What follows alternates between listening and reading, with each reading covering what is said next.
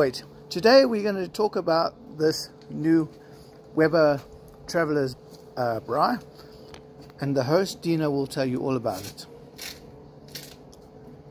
As you can see, what is this? Um, so actually what we just happened was we missed the unboxing.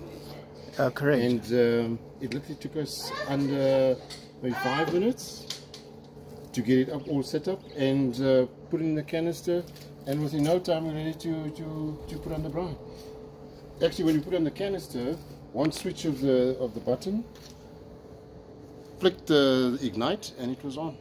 And it takes a little uh, gas uh, cylinder like that, just uh, buy it loose, um, and just screw it on, And, and, that, on. and, that, and there you go, and there's a little switch to put it on. Yeah, switching it on is as easy as turning the button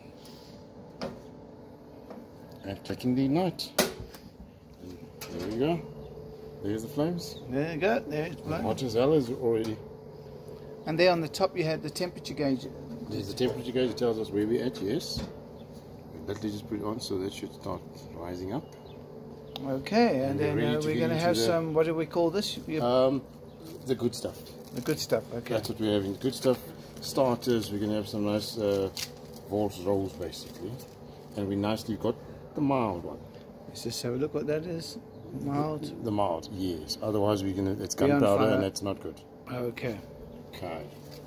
All right. Okay. You got a steak and As you can see, the temperature has now risen to 150. Nice. So that's, I think, is about the the right time to. Prime put on what do you the- say? go for it. Gooi. Go for it. And Yeah, they- Just wash my hands and I can. Just go. Put it on and see what happens. There we go. He's throwing See it on. happens. Let's just. With these little snakes on. Typical South African braai. As you can see. I'll take a knife just to separate them.